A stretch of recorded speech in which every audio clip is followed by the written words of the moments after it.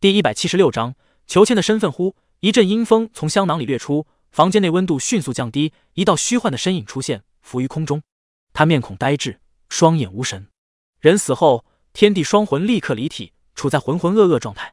人魂藏于体内七日之后才会出来，这个时候天人两魂会过来寻找人魂，三魂齐聚就能找回生前记忆，摆脱魂厄。头七的说法便是由此而来。这个年轻人的身份非同一般。对我体内的气运了如指掌，我或许能从他身上问出核心机密。许七安深吸一口气，感觉心跳加快，血液沸腾，很久没有这么激动了。就在这时，他耳廓微动，听见院子外传来苏苏娇媚的声线：“呀，你不能进去，我家夫君在休息，不准任何人打扰。”然后是秋蝉一不太高兴的声音：“我就进去看一眼。”禅衣道长虽然是出家人，但也该知男女大防，深更半夜的哪有往男人房间里凑的？许公子对天地会有大恩。我进屋探望，怎么了？出家人风光霁月，问心无愧。哟，还问心无愧呢？你们天地会三十四位弟子，怎么就你一个人过来？还不是馋他身子？你你你！秋蝉一骚的面红耳赤。你什么你？一副少女怀春的模样。姑奶奶是过来人，就你们这些小蹄子，心里想什么？我还能不知道呀？苏苏掐着腰，像一只好斗的小母鸡。我家夫君好色如命，饥不择食。我劝姑娘还是保持距离，长点心，否则破了处子之身，最后被始乱终弃。说出去也不好听。苏苏呵了一声，或者这正中禅一道长下怀。我我去找金莲师叔。秋禅一一个小姑娘，哪里斗得过老鬼苏苏？羞愤的一跺脚跑开了。去找金莲道长啊！许七安看了眼漂浮在房间内的魂魄，叹了口气，默默收回香囊。他忽然意识到自己过于心急。山庄里有楚元枕等高手，耳目聪明，就算不特意偷听，万一路过什么的，分分钟就把他最大的秘密听去。先让金莲道长他们安心。然后找杨千焕布置隔音阵法。许七安把香囊挂回腰间，打开门，朝着院外的苏苏招了招手。苏苏双手背在身后，脚步轻快的进屋子，嘴里哼着小曲。看来你对自己的身份很有归属感了。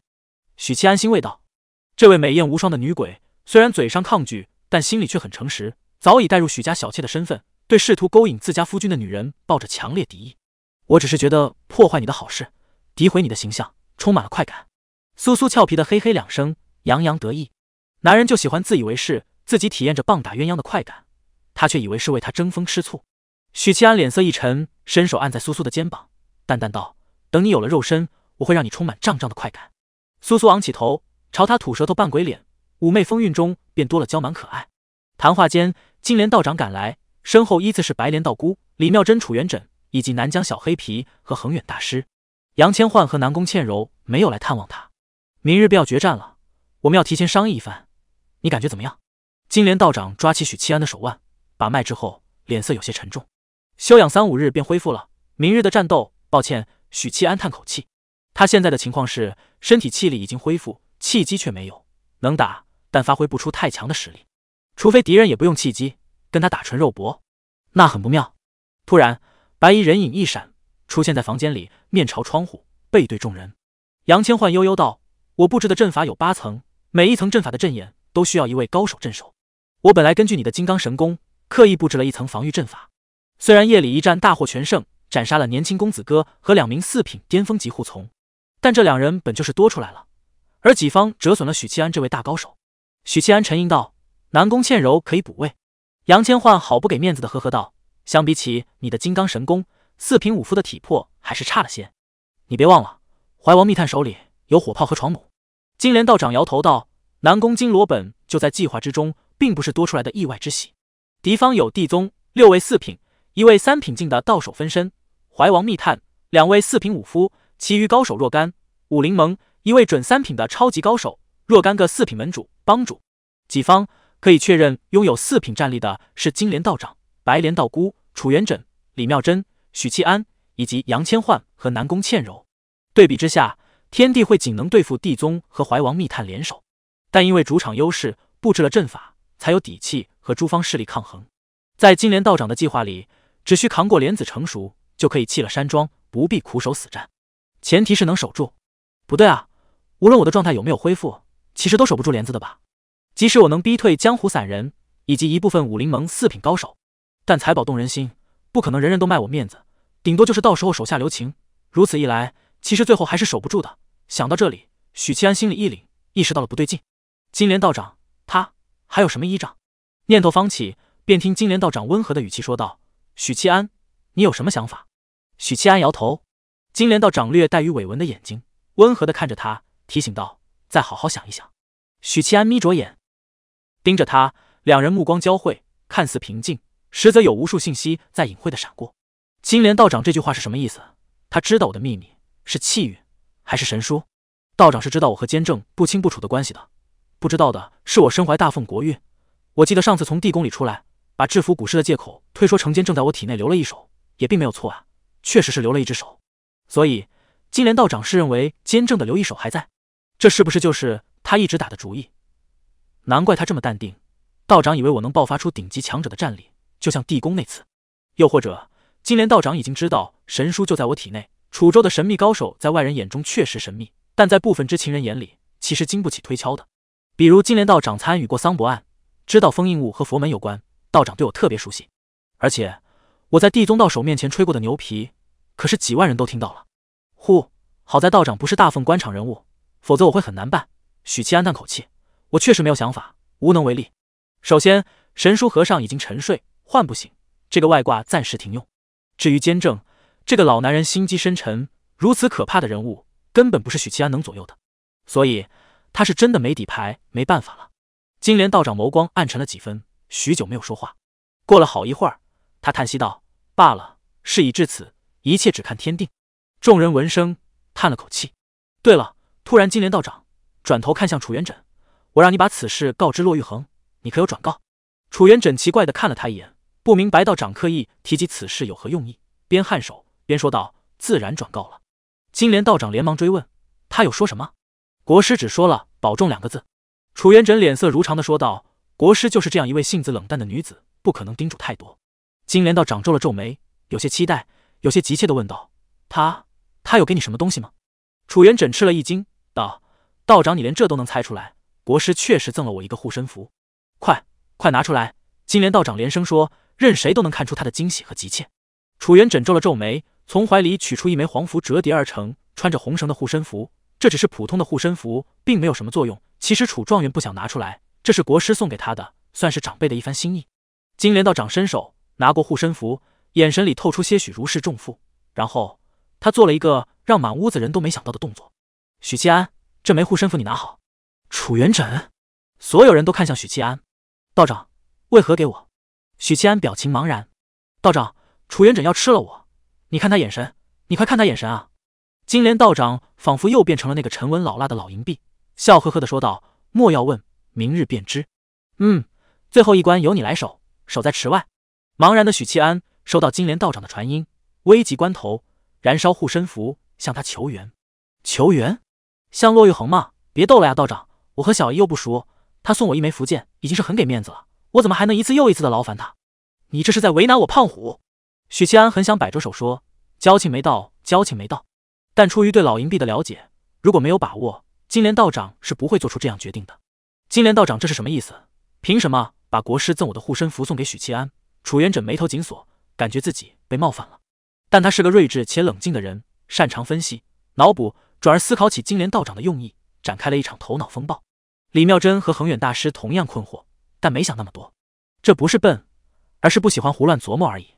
丽娜才是笨，从头到尾都没有打算动脑子，分外珍惜自己的脑细胞。这时，秋禅衣带着几名女弟子，捧着热腾腾的饭菜过来，香气瞬间盈满房间。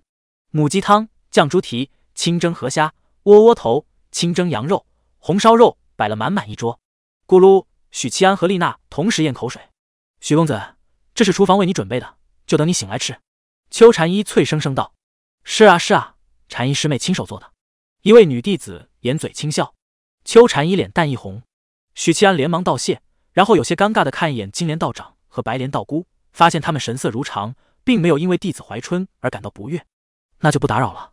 金莲道长颔首，率先离开。楚元稹等人随后离去，丽娜没走，她的双脚被封印了，蔚蓝色的眸子巴巴的看着许七安。一起吃吧，许七安无奈的说，旋即拿起窝窝头，搭配红烧肉和羊肉吃。许公子，味道怎么样？秋蝉一抿着嘴，期待的问。禅衣师妹手艺极好。许七安竖起大拇指，赞了一声，接着叹息道：“就是茶艺差了些。”我茶艺也很好的。秋禅衣委屈的辩解。许公子都没喝过他沏的茶，就这般武断。他垮着小脸，感觉被许公子小觑了。我说的是绿茶。许七安笑眯眯道：“我家有一个妹子，年纪与你一般大，但茶艺比你强太多了。有空介绍你们认识，多向她学习学习。”苏苏属于妩媚的妖艳贱货，这类女人只有绿茶能克制。刚才换成林月在，就会当场嘤嘤嘤的哭起来，然后委屈的守在外面守一个晚上。要是能得一场风寒，就更好了。苏苏事后就会被打上恶鬼标签。酒足饭饱，许七安打发走秋禅衣众女，在院子里喊了两声：“杨师兄。”白衣身影映照而来，背对着他，悠然道：“天不生我杨千唤，大家都这么熟了，你装逼也没啥快感了吧？”许七安冷漠的打断：“大风万古如长夜。”杨千唤噎了一下，冷冰冰的问道：“什么事？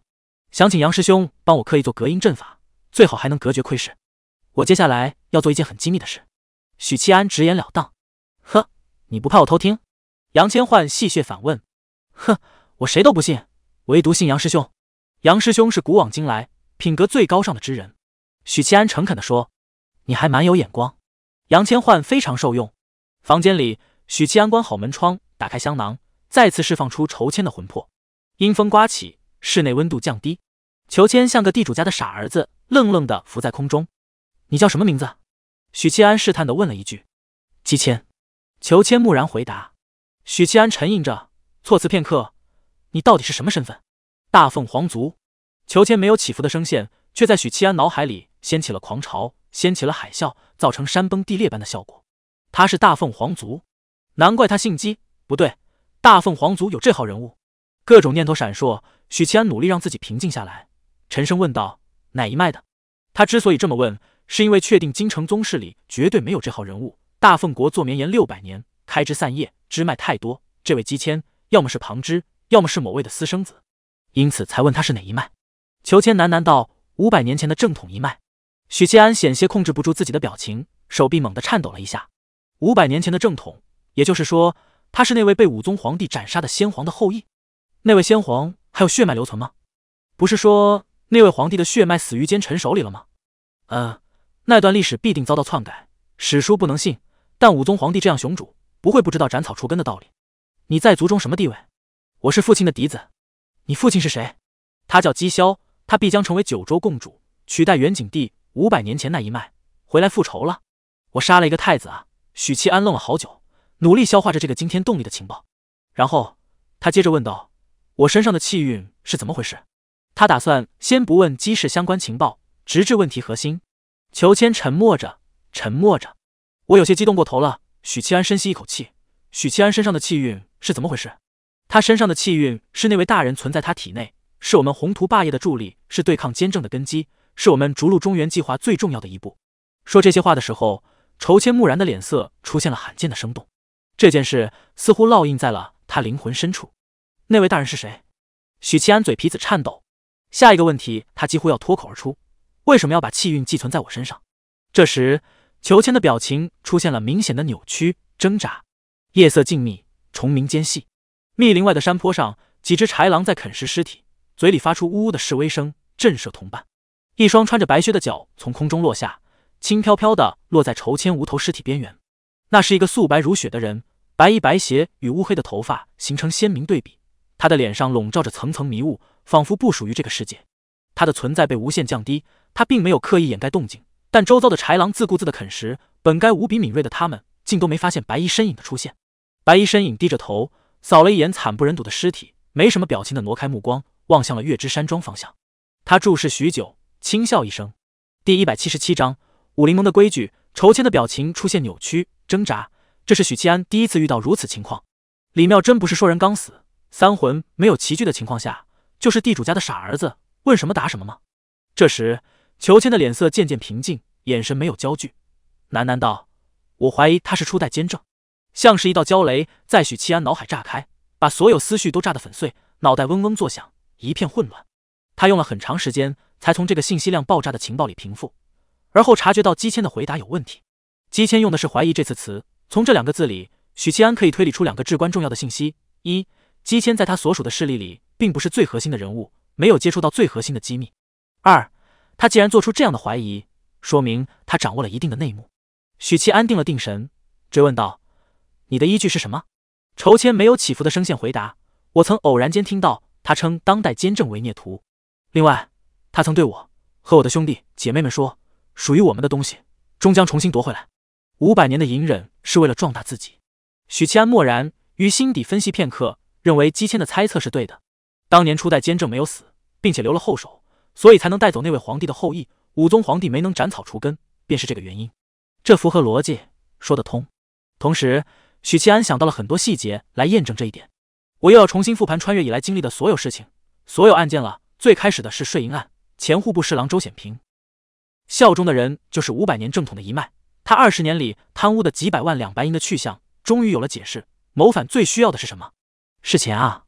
云州案是齐党兵部尚书和巫神教勾结，但云州查案时，那位疑似初代监正的神秘术士与我擦身而过，但帮助抓住了间谍，暗中助我。他帮我的目的是什么？没理由啊！云州时发生的这件事，始终像一根刺卡在许七安喉咙，但他缺乏相应的线索和证据，给不出猜测。最近的是镇北王的屠城案，此案中王妃随使团秘密前往楚州，这是因为元景帝要防备朝中二五仔。我当时已经推理出朝廷中许多大臣暗中与神秘术士有联系。是啊，如果神秘术士是初代监正，背后势力是五百年前的大凤皇室，那这一切就合理了。要知道，部分臣子早就暗中不满元景帝修道。他们可能早已被初代监正暗中策反，反正都是大凤皇族。既然你这一脉烂泥扶不上墙，我为什么不投靠五百年前那一脉？人家才是正主。另外，神秘术士帮助蛮族劫掠王妃，这也能得到很合理的解释。初代监正既然要造反，那肯定不能让镇北王晋升二品，甚至要想尽办法除掉他。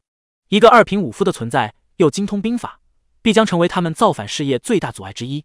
所以，初代监正的一切谋划都是在削弱大凤国力。只要抓住这个目的，反向推敲的话，许七安想到这里，瞳孔略有收缩，心里浮现一个念头：那魏渊呢？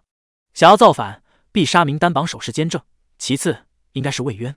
相比起镇北王，魏渊这个只花了几个月的时间就把来势汹汹、堪称无敌的北方妖蛮两族打得落花流水的兵法大家，运筹帷幄，打赢人类有史以来最惨烈战役——山海关战役的一代军神，他才是真正要铲除的人物。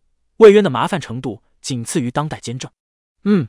魏公确实一直被群臣攻讦，给侍中那群喷子动不动就高呼“请陛下斩此獠狗头”，这其中也不知道有多少已经投靠了初代监正。卧槽！等一下，脑海里一道闪电劈下来，照亮了已经藏于黑暗的一些小事。他想到了一个案件，一个表面是针对皇后，涉及皇储之争，实际上暗指魏渊的案子——福妃案。试想一下，如果这件案子没有我的插足，那么它导致的后果就是皇后被废，四皇子从嫡子贬为庶子。再也没有了继承大统的可能，而扶持四皇子继位是魏公一展抱负的开端。如此一来，魏公和元景帝就是君臣决裂了，他们之间会留下无法弥补的裂痕。而福妃案的幕后主使是陈贵妃，陈贵妃背后有人撑腰是事实。嗯，这么想来，当初那个叫荷儿的丫鬟能佩戴屏蔽气息的法器，这就很有意思了。想到这里，许七安捏了捏眉心，无力的感慨：术士都是老银币，福妃案应该只是对付魏渊的冰山一角。甚至都不算前奏，不知道后续还会有什么行动。气运为什么会在许七安身上？他终于问了这个至关重要的问题。裘千茫然呆立，回答道：“我不知道，我只知道，因为某些原因，气运不得不存放在他体内。原本在经查年尾的税银案里，他会被送出京城。为什么要搞这么大阵仗，把许七安送出京城？你们不能直接派人劫掠？”裘千表情呆滞，喃喃道：“我不知道。”许七安问道：“你说？”要把许七安削成人棍带回去，你那么恨他，为什么不直接杀了他？裘千回答：“他是盛放气运的容器，气运没有取出来之前，容器不能碎；气运没取出来之前，容器不能碎。对我来说，这是一个好消息。”许七安再问：“怎么取出气运？”裘千：“我不知道，但父亲和那位大人一直在做相应的筹备，筹备了很多年。取出气运是一个困难或者繁琐的过程。”正如当年初代监正机关算尽才窃取到国运，从他一系列谋划中分析，这位初代监正似乎不复巅峰，只能苟起来谋算。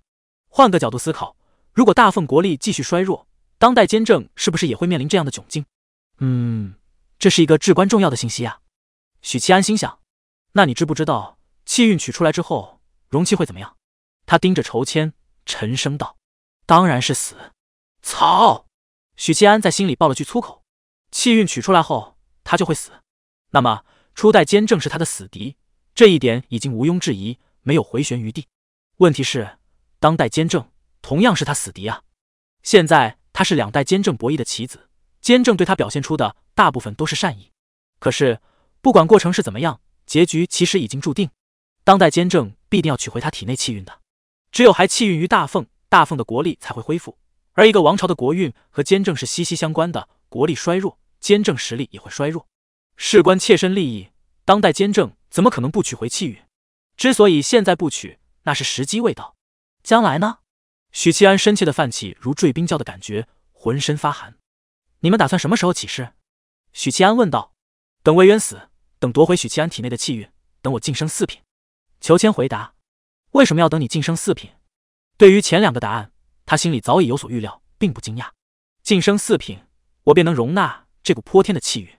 我是父亲的嫡子，是将来的九州共主，这份气运是我的。难怪他如此厌恶我，嫉妒我。声称我现在的一切都不过是占了他的便宜。许七安想了想，问道：“你父亲告诉你的？当然，如果不是选了我做继承人，他怎么会把龙牙交给我？”裘千说道：“你们的藏身地点在哪里？在许州。许州，大凤有这么个地方吗？”许七安皱了皱眉，简单的回忆了一下，确认自己没有听说过这个地方。不过大凤十三州，州里还有州，数不胜数。他前世又是个地理白痴，南方和北方的划分标准都不知道。许州在哪里？许七安直接询问。我我不记得了。仇千喃喃道：“什么叫不记得了？自己家还能不记得？”许州在哪里？许七安又问。我。裘千模糊的脸上呈现出强烈的痛苦，他双手抱住脑袋，痛苦的呻吟：“我不记得了。”砰！魂魄炸散，化作阴风席卷房间每一个角落。密林外的山坡上，白衣术士收回目光，屈指一弹，赤色的火焰舔舐尸体，豺狼把他们化作灰烬。大袖一挥，灰烬猛地扬起，飘向远方。怀王死了，远景下过罪己诏后，气运又降一分。下一个就是魏渊了。姬谦，你的任务完成了，死得其所。他心情极佳，双手负在身后，笑盈盈的走远。盛夏，房间里的温度宛如深秋，凉意阵阵。许七安站在寂静的室内，猛了半天，是我的问题触及到了某个禁忌，让姬谦的魂魄自爆了。不对啊，他都说出许州了，按理说应该在我问这个问题的时候。他的魂魄就产生某种抵触，然后自爆，这才合理。现在就算我不知道许州在哪，我回去查资料不就行了吗？他坐在桌边，静下来心，默默消化着今夜所得的情报。初代监正没死，五百年前的正统一脉也还有后裔留存。二十年前窃取大凤国运的是初代监正，他们一直在密谋造反。这些情报要是公布出去，必将引起轩然大波，举国震惊也不为过。初代把我当工具人，容纳气运；当代把我当棋子。用来博弈，元景帝想要杀我，这个朝廷不待也罢，我恨不得有人把他从龙椅上拽下来。但是魏渊待我如子，表表和怀庆又是我的红颜知己。许七安深切的体会到什么叫左右为难，他捏了捏眉心，吐出一口气：“老规矩，遇事不决找大佬。我把这件事告诉魏公，怎么做？让他头疼去。”做出决定后，他便不再去想，从怀里摸出姬谦的皮质小袋，里面有床弩、火炮等重型杀伤力法器，也有宝甲。武器等法器，许七安没有找太久，发现了一只紫檀木制作的盒子，长约三尺，盒面雕刻着龙凤。把木盒子从皮带内取出，放在桌上，打开，柔顺明黄的绸布上躺着一根微微弯曲的牙，有点像袖珍版的象牙，洁白的表面刻着密密麻麻的符文。只看了一眼，许七安就头晕眼花，恶心犯呕。他不敢多瞧，立刻盖上檀木盒。这想必就是龙牙，这法器有点强的过分啊！按照姬谦的说法。龙牙似乎是他们这一脉的至宝，顺位继承人才能持有。许七安凭直觉认为，这根龙牙将来会有大用。小镇一座两进的四合院里，烛光高照，穿紫袍的曹青阳端坐在堂内，目光沉静地看着两边的门主、帮主。当场共有十六位帮主和门主，其中有足足十二位是四品高手，五位资深四品。曹青阳的左边坐着戴金色面具的天机，这位执掌建州最大江湖组织的武夫，手里端着茶。茶盖轻轻磕着杯沿，堂内寂静无声，只有茶盖和杯沿碰撞的声音，微弱而清脆。杨崔雪、傅金门，你们二人真的要退出这次行动？曹青阳淡淡道。杨崔雪是莫格的阁主，傅金门是神拳帮的帮主。昨夜两人联手替许七安挡下了三名莲花道士，受了些伤，脸色都有些苍白。面对曹青阳的质问，两人沉着脸，颔首。傅金门沉声道：“曹盟主，莲子对我等而言。”固然是至宝，却也不是非要不可。但要让我和许银罗为敌，恕难从命。曹青阳啊了一声：“许英罗对你施恩了。”傅金门摇头：“我神拳帮的拳法在刚，在直，在心胸坦荡。”曹青阳再看向杨崔雪，面无表情：“杨门主，你莫格的剑法阴险招式不少，你又是为什么？”杨崔雪拱手喟叹一声：“老夫最喜欢结交少年豪杰，很欣赏许七安这个人，仅此而已。”曹青阳淡淡道：“所以我的命令在你们看来便是无关紧要的野犬乱吠，听过便忘。”他自始至终语气都很平淡，熟悉他的人却清楚，向来豪爽的曹帮主若是做出这番做派，便意味着心情极差，很危险。万花楼主萧月奴柔声道：“曹盟主，杨前辈和父兄并非有意违背您的命令，只是大丈夫有所为，有所不为。再者，当年武林盟成立时，初代盟主与我们各派有过约定，听令不听宣。若是觉得武林盟的命令违背道义，违背自身意志，是可以拒绝的。好一个听令不听宣！”天机冷笑道：“曹盟主，素闻武林盟在建州一家独大，您更是一言九鼎。没想到传闻终究是传闻，此事若是传扬出去，您还怎么在江湖立足？”曹青阳冷着脸：“大人觉得该如何？”天机从怀里取出御赐金牌，轻轻放在桌上，声音冷冽：“若是按照朝廷制度，公然抗命，杀无赦。”曹青阳叹口气：“大人再想想。”天机冷哼道：“曹帮主，武林盟再大，大不过朝廷吧？”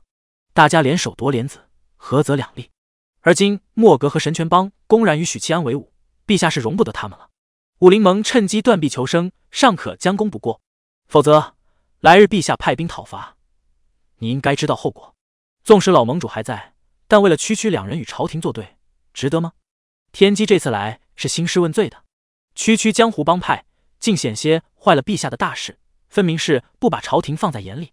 此风不可长。那就没什么好说的了。曹青阳叹息一声，闻言，天机心里冷笑。虽说陛下的罪己诏让他威信大减，让朝廷威慑力大减，但朝廷终究是朝廷，对于这些江湖匹夫来说，是无法抗衡的庞然大物。偶尔一两个不顾大局的莽夫坏事是不可避免的，只要铲除罪魁祸首，掐灭风气便成了。下一刻，曹青阳一掌按在天机的额头，将他推出了四合院。气机爆炸如雷，立柱和围墙不断倒塌。从堂内到四合院外，短短十几丈的距离，两人的气机对拼不下百次。天机裹着黑袍的身体重重摔在四合院外的街上，面具皲裂，额头鲜血沿着破损的面具流淌。曹青阳只是甩了甩手，像是做了件微不足道的小事。曹青阳，你想毁了武林盟的六百年基业？天机勃然大怒，他是资深四品，虽说距离巅峰还有不小距离，但怎么都不该如此不济。可方才的交手里，他完全无法对抗曹青阳的气机。只觉得自己与他差了太远太远，真要动起手，百招之内必死无疑。五榜前三的武夫强大到令人战栗。武林盟有武林盟的规矩，六百年里换了一个又一个盟主，何曾给朝廷当过狗？曹青阳淡淡道：“你回去告诉皇帝，发兵讨伐也好，派人暗杀也罢，尽管来。武林盟即使因此灭了，祖宗们也会竖起大拇指对我说一句：不曾辱没武林盟名声。”天机脸色阴沉，却不敢再说狠话。今日不杀你，并不是害怕，而是你不足为道。曹青阳说完，转身返回，紫袍袖子晃荡。第一百七十八章三品。根据姬谦的说法，气运没取出来前，容器不能碎。换而言之，如果容器碎了，是不是气运就还给了大凤？那我把这些事告诉魏公，他会如何待我？吹灭蜡烛，躺在床榻的许七安忽然冒出这个疑问。他可以做删减，只告诉魏公初代监正和大凤皇室一脉的存在。不透露气运的信息，可问题是，他并不知道魏渊在第几层，正如他看不透监正在第几层。如果把这些信息告诉魏渊，魏渊再结合自己掌控的信息知识，从而推断出气运这个内幕。哦，原来大凤国力衰弱，百姓困苦不堪，朝堂积弊严重，这一切都是因为气运丢失，而气运就在许七安身上。作为一个有抱负、有雄心、致力于清扫陈疴的国士，魏渊是为国为民大义灭亲，还是选择包庇，选择视而不见？这不是我杞人忧天。根据魏渊展现出的手腕和他的传说，如果我在十八层，那他可能在九十九层。许七安翻身坐起，在黑暗中沉思，突然间就有种草木皆兵，全世界都在害朕的感觉。初代和当代不可靠，原本抱得死死的大粗腿魏渊，如果知道气运的事，可能也会反目成仇。我该怎么做？黑夜里，许七安喃喃自问：如果我拥有三品甚至二品战力，我就可以横着走，跳出棋盘，变成棋手。可我只是一个六品武者，初代监正就像一把刀悬在我头上，就算近期不会落下，我预感时间也不会太久了。我恐怕无法在短期内成为巅峰武夫。这样的话，最好的应对方式是驱虎吞狼，用敌人的敌人来对付敌人。可初代和当代都不是好东西。过了很久很久，寂静的房间里响起许七安的轻笑声。我想到办法了，先守住莲子，尽快晋升五品，然后回京城跟魏公玩一局真心话大冒险。清晨，第一缕晨曦洒下，裹着黑袍的密探们运送着二十多架火炮，顺着月之山庄山脚的大路缓缓前行。天机和天书站在路边，副手并肩看着下属把火炮呈一字形摆开。密探们有条不紊地做着射击前的准备工作，他们并不怕山庄里的敌人出手袭击破坏，因为在这支火炮队的不远处是地宗的莲花道士及其弟子，还有以曹青阳为首的武林盟众高手。双方虽然关系不睦，但大家目标一致。若是月之山庄想通过偷袭的手段破坏火炮，武林盟的人肯定出手阻拦。你昨天太冲动了。不该拿着陛下御赐的金牌去威胁武林盟。”天书淡淡道，他声音清冷，富有成熟女子的磁性。摸一摸武林盟的态度而已。曹青阳虽然油盐不进，但武林盟终究还是站在月之山庄对立面。天机冷哼一声，昨夜莫格和神拳帮的态度让他万分警惕。如果武林盟内部出现大量的反对声音，那么这个建州的庞然大物，即使不到歌月之山庄，战力也会大减。所以，他必须对武林盟做一次摸底。当然。兴师问罪也是真的。如果曹青阳屈服于朝廷的威严，那他就赌对了。反之，虽然冒了些风险，但他评估的没错。曹青阳没有杀他。身为盟主，即使在桀骜在狂悖和孤家寡人的江湖匹夫，终究不同，考虑的东西也会更多。收获不错，但代价同样巨大。身为四品高手、密探首领之一，被曹青阳羞辱、殴打，没有足够深厚的城府，一时半会还真走不出心理阴影。天机低声道。我们只需要提供火力支援，为地宗打开缺口。后续的莲子争夺不是我们的主要目的，杀许七安才是，明白吗？天书嗯了一声，笑道：“昨夜他施展了天地一刀斩，还有儒家法术，不可能在短短几个时辰内恢复。此时不杀，更待何时？”作为怀王密探，而今又效忠皇帝，他们对许七安可谓了如指掌。事后根据现场分析、评估，以及那位背景神秘的年轻人身上那件碎裂的法器，还有众目睽睽中突然瞬移。利用符剑斩杀两名四品护从的操作，他们初步断定许七安施展了天地一刀斩和儒家法术，而根据资料显示，这两种手段是要支付巨大代价的。武林盟、地宗、怀王密探三方势力齐聚，在他们后边还有数百名围观的江湖人士，有的是纯散修，有的是小门小派过来浑水摸鱼的。经历了昨日的小镇突袭战后，这群江湖人士的积极性大受打击。一方面是忌惮月之山庄的强大。认清了现实，另一方面，许七安的身份开始发酵，影响力逐步加深，愈发让人忌惮，不敢与他为敌。我等这一天很久了，可惜这不是咱们的舞台。人群里拄着铜棍的刘虎感慨一声，说不得还有浑水摸鱼的机会呢。有同伴怀着希冀，我昨天计算过双方的战力，根据月之山庄摆在明面上的战力，与武林盟、地宗以及那批朝廷高手相差极大。岂止是相差极大，你们别忘了，地宗到手还没现身呢。那可是二品啊！他若来了，横扫全场。那样的话，我们连浑水摸鱼的机会都没有。哎，你们说，如果许银罗拿出佛门斗法的实力，有没有希望硬汉地宗到手？不是说佛门斗法中有监正在暗中相助吗？随便聊聊嘛。我说的是许银罗佛门斗法时的威势。我当然知道那是监正在暗中相助。柳公子提着剑，向着万花楼众女行去，面露愁色，说：“蓉蓉，我听师傅说。”月之山庄只是在做顽固抵抗，保住莲子的几率不大。蓉蓉侧头看向这位交情不错的同辈，却发现他的目光隐晦的打量楼主曼妙的背影。月之山庄能不能护住莲子，我并不关心。蓉蓉轻声说，在蓉蓉看来，柳公子的目光已是极度克制，这也是没办法的事。毕竟楼主这样绝色美人过于醒目，哪个男人要是不偷看，反而有问题。咱们想法一致。柳公子笑了起来，这同样也是大部分人的想法。包括在场的万花楼仙子们，月之山庄能不能守住莲子，与他们何干？只要许银罗不出意外便行了。他们敬佩许银罗的大义，但不愿意看他折损于此。这和他们争夺莲子并不冲突。月之山庄内，天地会弟子们齐聚，握着各自的法器，严阵以待。本来是一场动员会，但白莲道姑发现临阵当前，弟子们的紧张和畏惧比想象中的要严重。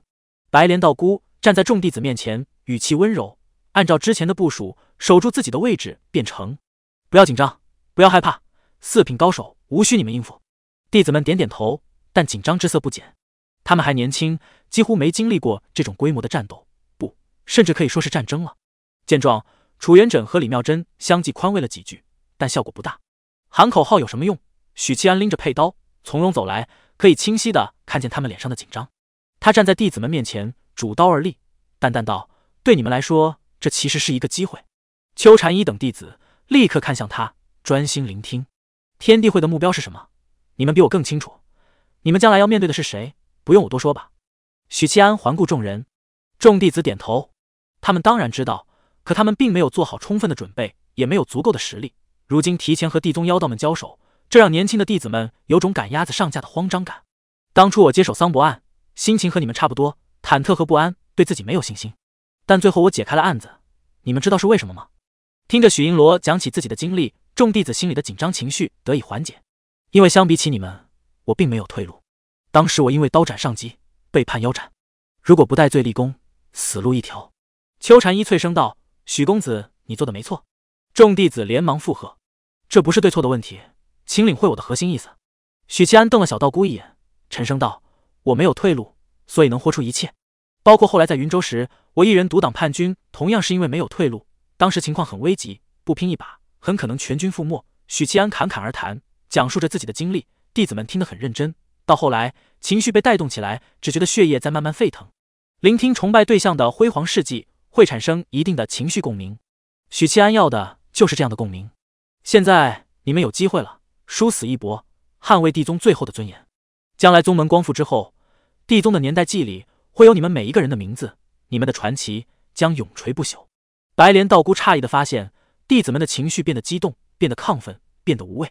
果然，有威望的人。说什么都是对的，嗯，他的说辞也很有技巧，结合自身经历带动弟子们情绪。白莲道姑看着主刀而立的年轻人，莫名的心安，只觉得对方是值得依靠、信赖、让人安心的伙伴。双方各自等待着，无数人翘首企盼。时间一分一秒的过去，慢慢的，太阳升到了头顶。午时左右，月之山庄深处，一道霞光冲天起，霞光之柱的底部，九种颜色缓慢闪烁，莲子成熟在即。天机大手一挥，喝道：“开炮！”火炮的钢铁身躯上密密麻麻的皱纹亮起。下一刻，火炮出膛声宛如雷鸣，惊天动地。巨大的后坐力让沉重的钢铁炮身朝后滑退，溅起大量土块。咻咻咻！凄厉地尖笑声里，一枚枚炮弹划过完美的抛物线，轰然撞在月之山庄外的气罩上。那是一道笼罩整座山庄的半圆形气罩，呈半透明的青色。炮弹在气罩表面炸起耀眼的火光，冲击波如飓风肆虐。山庄外面第一层防御阵法的阵眼位置，南宫倩柔脸色潮红，每一个炮弹的爆炸都仿佛炸在他的身上，震得他气血翻涌，喉咙涌起腥甜。他体表神光闪烁，气机绵绵输入，维持着气罩的稳定。这这是什么阵法？防御力如此强大，竟然能抵挡如此密集的火炮。围观的各方势力瞠目结舌。火炮是大奉朝廷称雄九州、震慑各方的重要手段，他们的杀伤力毋庸置疑。二十门火炮一轮齐发。四品武夫也得丢下半条命，可眼前的防御阵法仅是出现剧烈震荡，这意味着阵法的防御力比四品武夫的肉身更强。这让我想起了边境主城的护城阵法，月之山庄怎么可能有这么强的阵法？对了，昨晚的战斗不是有术士参与吗？有人豁然醒悟，难怪月之山庄的防御阵法如此强大。发射！天机沉稳的开口，下达第二轮射击指令。作为怀王密探，在北境效忠多年。他一眼便瞧出阵法的虚实，顶多称三轮轰炸。而他们这次携带的炮弹数量充足，便是把月之山庄夷为平地都不成问题。手握明月摘星辰，世间无我这般人。低沉的吟诵声豁然响起，在密集的炮火声里清晰地传入群雄耳中。他们惊讶地扭头循声看去，只见南边的山坡上站着一位白衣术士，后脑勺朝着众人。他抬起脚，轻轻一跺，阵纹的光芒亮起，一架架火炮，一张张床弩。在他周围摆开，炮口和弩箭转动，齐齐对准底下众人。天书脸色一变，娇斥道：“退！”嘣嘣嘣，轰轰轰，一团团火球膨胀爆炸，顷刻间将十二门火炮炸成碎片，将那片区域化作废土。不仅如此，火炮还闯弩，还覆盖了吃瓜群众。但不知是故意还是准心有问题，火炮只在人群附近炸开，吓得江湖人士抱头鼠窜，瑟瑟发抖，却没有伤人性命。倒是二十多名怀王密探在炮火中折损了近半，这还是天书和天机提前察觉到危机，命令撤退的结果。柳公子仓皇逃窜中，忍不住回头看了一眼，心里泛起疑惑：那位术士刚才如果偷袭的话，绝对能创造堪称完美的杀敌效果，为什么非要吟一首诗？太强了，高品术士太强大了。是啊，这是五福永远无法触及的力量。摆脱炮火轰炸后，武林盟各门各派、江湖散人们停了下来，心有余悸的回看现场，然后才发现一件事：那位高品术士已经手下留情了，火炮刻意避开人群，这是在警示我们吗？现在那些黑袍人的火炮被毁，防御阵法还在，他们打算怎么进攻？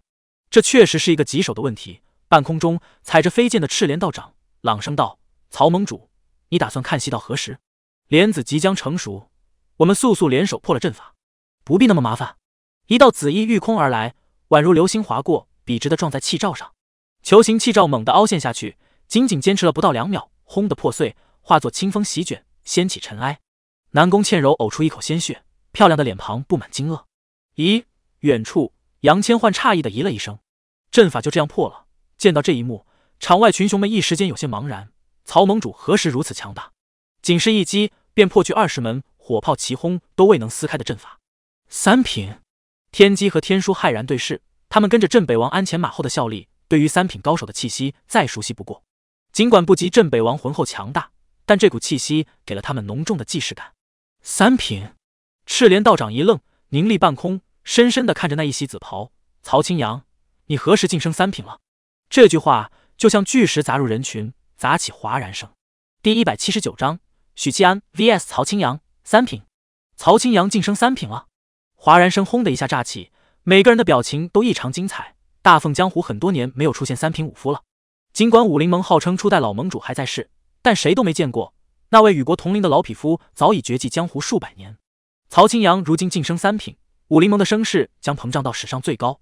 而大凤朝廷的镇北王前段时间刚好陨落，这是不是意味着江湖武夫要崛起了？大凤的格局会不会因此发生变化？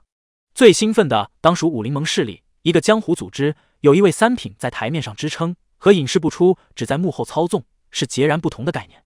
大凤朝廷也才一位镇北王呢，而且还陨落了。如今咱们曹盟主亦是三品，这意味着什么？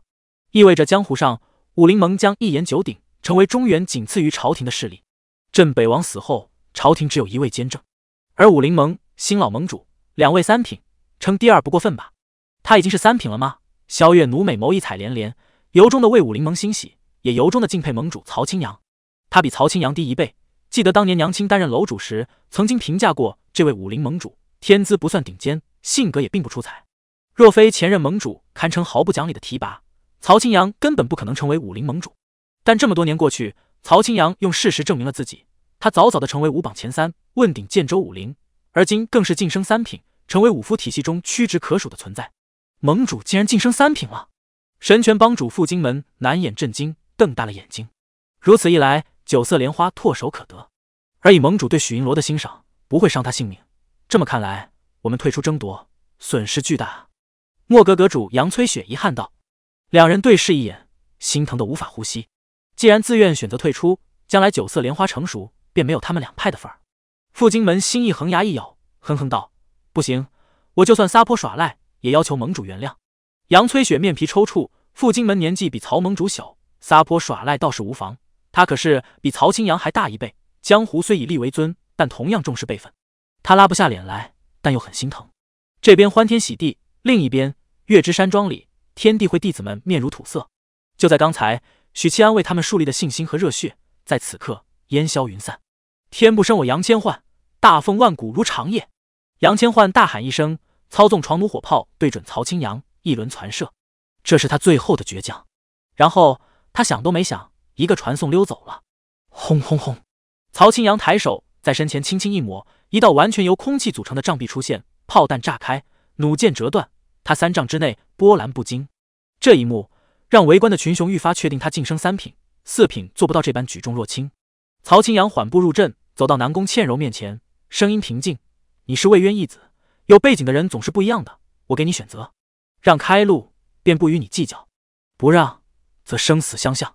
曹青阳的性格就是这样，忌惮对方的背景，也会堂堂正正的说出来。南宫倩柔看了他一眼，脸色阴沉，默然几秒，他退到了一旁。既然对方是三品，那就没有送死的必要。再者，守护莲子只是任务，且不是非要完成的任务，没必要为此拼上性命。曹青阳微微颔首，继续月之山庄深处行去。第二关是剑阵，主阵者楚元稹，一袭青衫的状元郎，脚踏阵眼，漠然的看着逼近的曹青阳，并不因为他是三品就有所忌惮或畏惧。我只出一剑，一剑过后，人耳出入。曹青阳闻言，目光落在他背后的长剑，道：“是你背后那一剑，你没资格让我出这一剑。”楚元稹淡淡道：“看出来了。”曹青阳点点头：“那是义气之剑，没资格，指的不是实力，而是目标不对。那你差远了。”曹盟主语气平静的补充了一句：“楚元稹并指如剑朝天，刹那间剑气盈满天地。身在其中的曹青阳只觉得自己身在刀山剑海之中，脚下的地面、头顶的天空、深周的空气，全部化为了剑。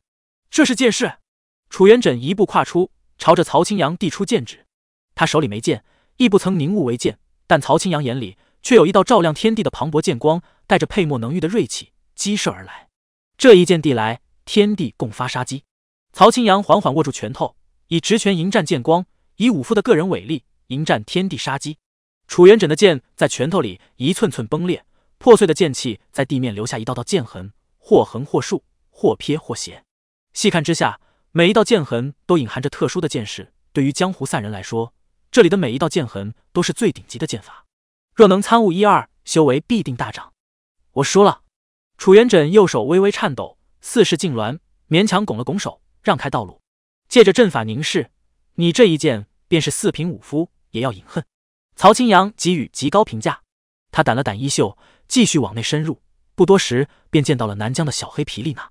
所以这一关势力，曹青阳仅是扫了他一眼，便看穿他立古部的身份。我也只出一拳。丽娜瞪着他，爽快。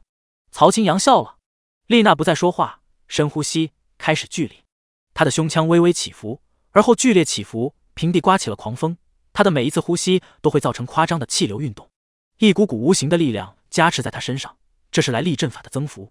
十几息后，她的脸色开始潮红，她脖颈、手臂等裸露在外的皮肤也染上一层血红，像是煮熟的虾。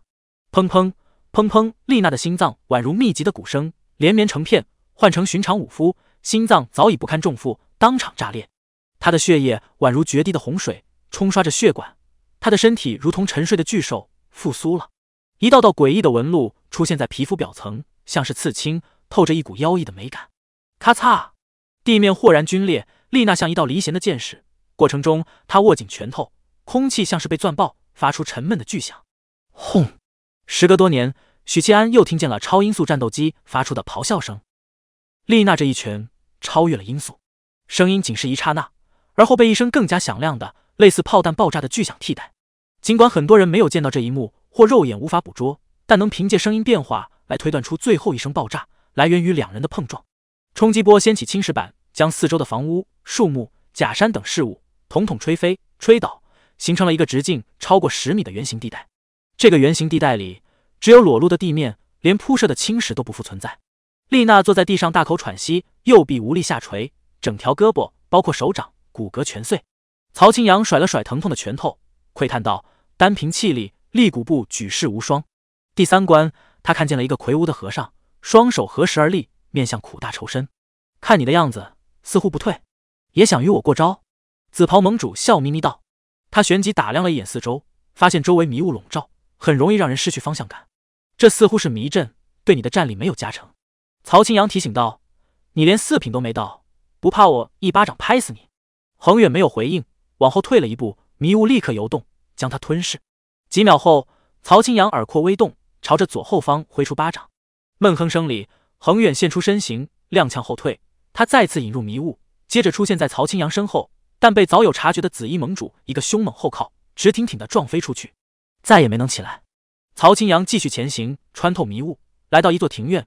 这里阴风阵阵，鬼哭神嚎，一道道不够真实的幻影在空中游曳，发出尖细的笑声。你不是三品，万鬼哭嚎中，李妙真浮空而立，默默俯视着曹青阳。他的身躯看起来宛如实质，但这并不是真实肉身，而是他的阴神。道门最擅长的是元神领域的法术，即使同样擅长该领域的巫师，也要差道门一筹。武夫以破坏力著称，以体术著称，元神方面虽然没有短板，但也并不突出。这座万鬼大阵是专门克制四品武夫的。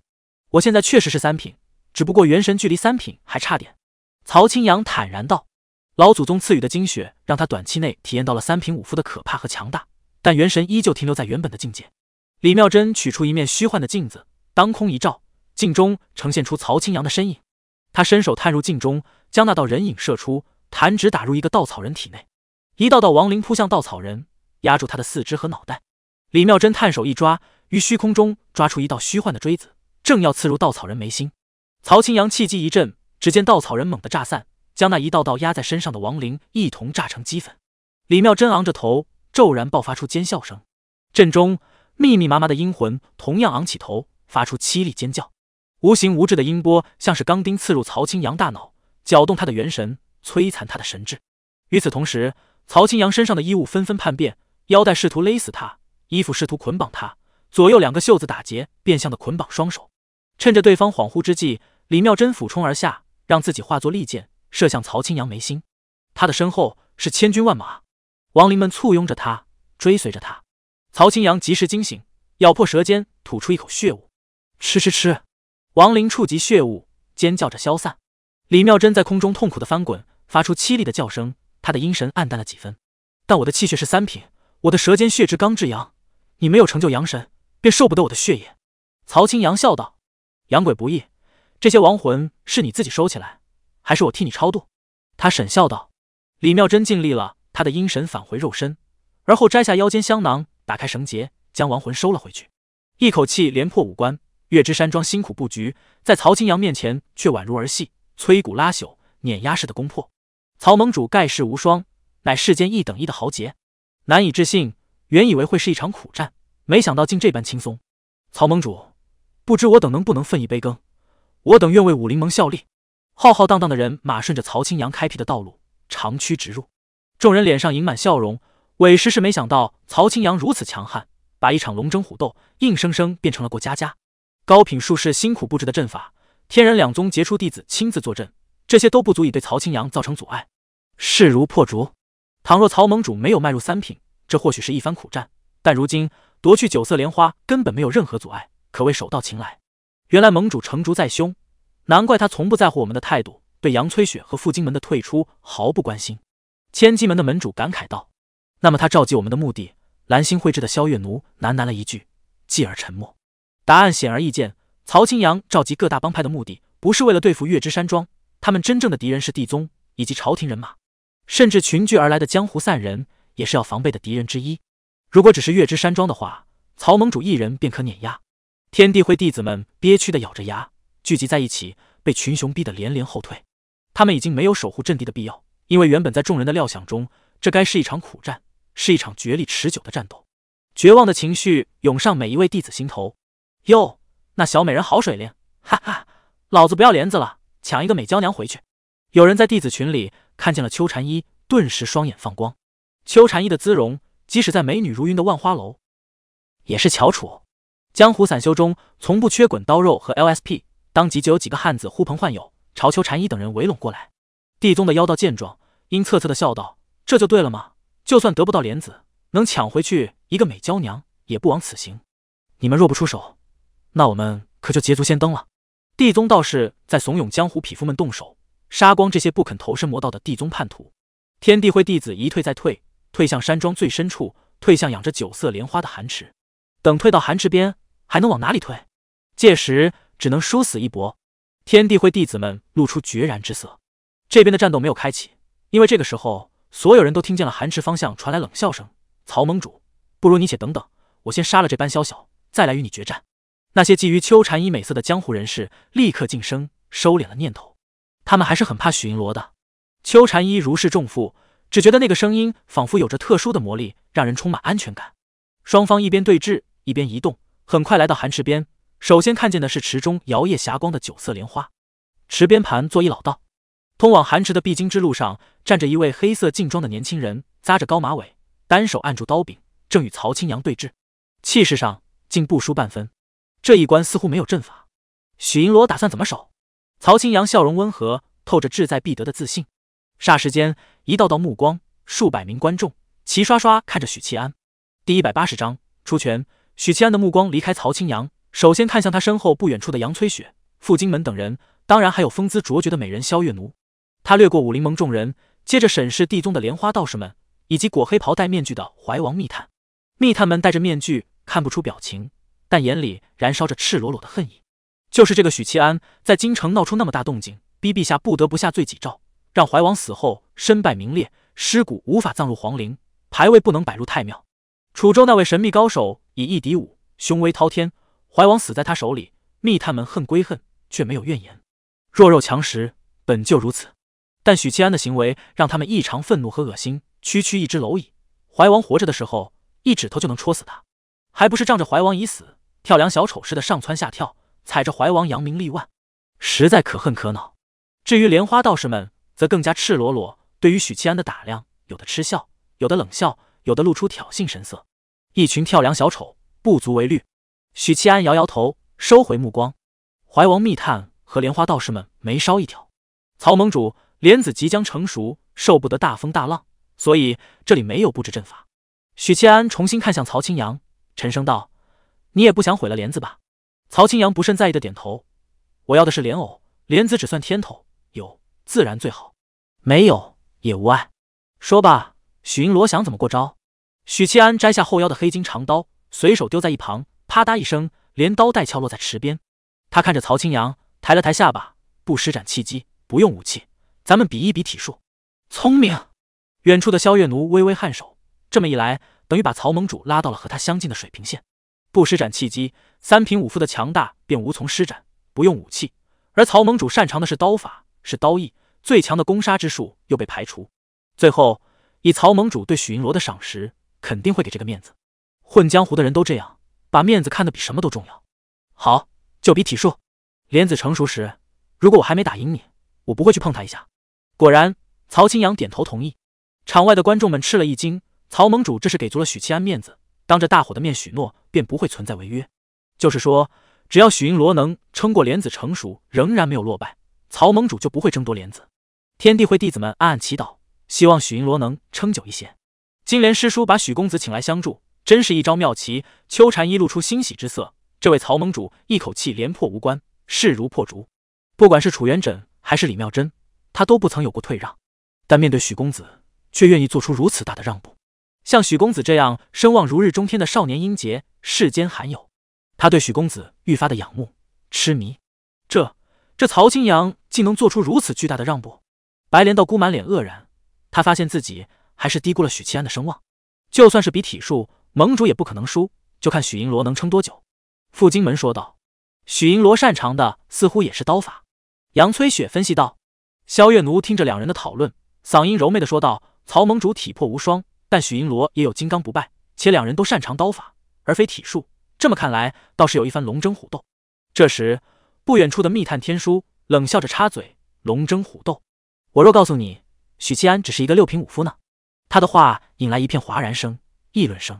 观战的群雄们一想，突然发现，对于许银罗的品级，他们确实没有概念。首先，打更人的银罗既有八品炼神境，也有五品化境，本身就不是按照品级来划分的。其次，许银罗的早期事迹里有云州独挡数千名叛军，有佛门斗法，这些都是在越阶战斗。他们唯一能判断的标准是昨夜许银罗斩杀那位来历神秘的公子哥，而对方本身不是弱者，又有两名四品巅峰充当护卫，所以，在众人心里。许银罗即便不是四品，怎么也是五品化境。许银罗只是六品吗？六品的话，怎么杀那位公子哥？六品怎么闯入皇宫，劫走两位国公？听他胡说。但这群人似乎是朝廷的势力，对许银罗想必是知根知底。说这些作甚？等两人交手了，一看便知。曹青阳审视着许七安：“你才六品，这我倒是有点意外。”收集的情报里，许七安最新的战绩是力压天人两派的杰出弟子，虽然用了儒家法术书籍。但外人的评估是自身也有五品，差距并不大。结果居然是个六品武者。许七安没有回应，淡淡一笑，还请曹盟主多多指点。话音落下，他突然飞了起来，伴随着脚下砰的闷响，凶猛的膝撞直面进攻。过程中眉心一点精气亮起，迅速蔓延全身。曹青阳一步跨前，主动迎了上去，左手挡开许七安的膝撞，右手掌心反转，一掌贴在他胸口，当。如同剧中撞响，许七安倒飞回去，翻滚着卸力，才稳住身形。还真没到五品，傅金门猛吃一惊，哗然声一下子起来，群雄交头接耳。通过刚才简短的交手，眼光毒辣的立刻便看出许七安的水平。天地会弟子们脸色一沉，心也跟着沉了下去。尽管他们修的道门体系，但对五福体系还是很了解的。毕竟五福体系不像其他体系那般神秘，因为走这条路的人实在太多。五品化境是五福体术的巅峰，五品之前，武者的近身攻击虽然强悍，但不至于让其他体系的高品强者畏惧。五品之后的武者，才是让其他体系的高品恐惧的原因。化境武者完美掌控肉身力量，可以无视惯性、无视失衡等。一旦被他们贴身，面对的将是狂风暴雨的攻势，直到分出胜负，或者用特殊手段再拉距离。许银罗没到五品，那这一战没得打。拖延时间更是痴心妄想。许七安站稳后，脑海里自动浮现画面：曹青阳出现在身侧，一记手刀砍他后颈。来不及思考，依照武者的本能，他一个下蹲，然后朝前翻滚。做完这一套动作的瞬间，曹青阳出现在他身侧，挥出手刀，手刀自然是落空了。曹青阳眼里闪过诧异，他身影忽而消失，从天而降，一拳砸下来。但在他出手前，许七安忽然一个踉跄，像是喝醉酒的人没有站稳，朝左侧滑了两步。完美避开攻击，先适应节奏。他的攻击太快，我有点跟不上。以躲避为主，伺机反攻。许七安凭借不同于常人的敏锐，一次次未卜先知，捕捉到曹青阳的攻击画面，手忙脚乱的规避。在场外众人看来，两人就像玩过猫捉耗子的游戏。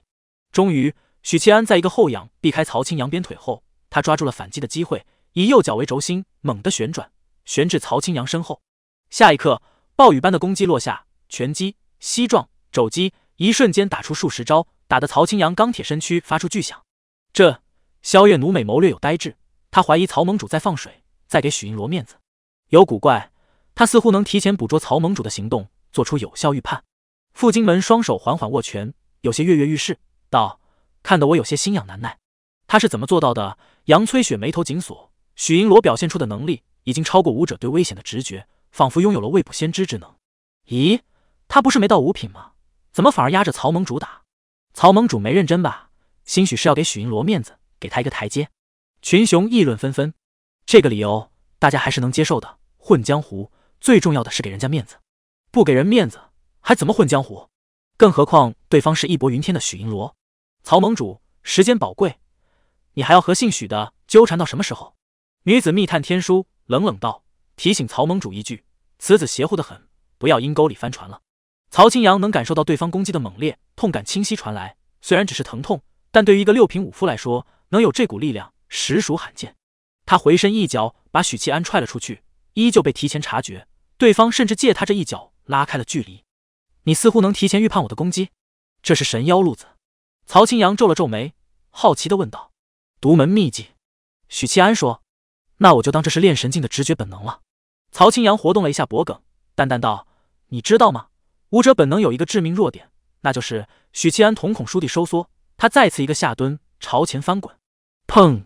曹青阳出现在他面前，一脚将他踢飞。这一脚踢得很瓷实，踢得他像炮弹般飞射，撞碎假山，壮烈青石铺设的地面，深深陷入墙中。看着狼狈的年轻人，曹青阳笑道：“只要出手的速度快过他对危险的预警，你便无法有效的做出应对。我懂，说白了就是 CPU 过载吗？”许七安把自己从墙壁里拔出来。咧嘴笑道：“热身结束了。”这一次，他主动扑了过去，但被曹青阳一招反倒，暴雨般的拳头旋即砸在他脸上。砰！砰！砰！一声又一声脆裂的爆响在许七安耳畔炸开，一记比一记重，一记比一记快的拳头不断映入他的眼眸，砸在他的脸上，砸的护体金身出现摇晃，砸的地面皲裂。他出拳时力量走的是直线，手臂肌肉向一个方向发力。为什么我做不到和他一样？为什么我的力量会在出拳的过程中分散？天地一刀斩的集中只有一瞬间，我也只学会了一瞬间，根本无法长期保持这种状态。许七安一边挨打，一边观察对方的气机变化。他发现曹青阳的每一拳力量都是一样的，像是完美的复制。五品之下的武者以及普通人根本无法保证自己每一拳的力量都一模一样。他坍塌了所有气血，将之凝成一股，而后一脚蹬在曹青阳小腹，将他踢飞。这一脚。将所有力量凝成一股，已经达到五品的水准。化境？不，还不是。他距离化境只有一步之遥。曹青阳恍然大悟，退出一段距离，卸去力道后，再次扑杀过来，不给许七安喘息的机会。在众人看来，这是一场单方面的殴打。曹盟主体术无双，攻击凶猛，打得许银罗或跳或滚，不断躲避，偶尔爆发反击，但在一两招后便被反制，然后是又一轮的单方面殴打。当，曹清扬一拳打开许七安交叉的双臂，手掌贴在金灿灿的胸口，骤然发力，许银罗不受控制的倒飞，但曹清扬一把抓住他的脚踝，强行拉了回来，又是一套凶猛的体术攻击，拳头不断砸在胸膛、小腹、脸庞，许七安无法站稳，被打得踉跄后退，毫无招架之力。不得不说，佛门的金刚神功乃世间一等一的护体神功。我看是龟壳神功吧，这挨打的本事，贫道自愧不如。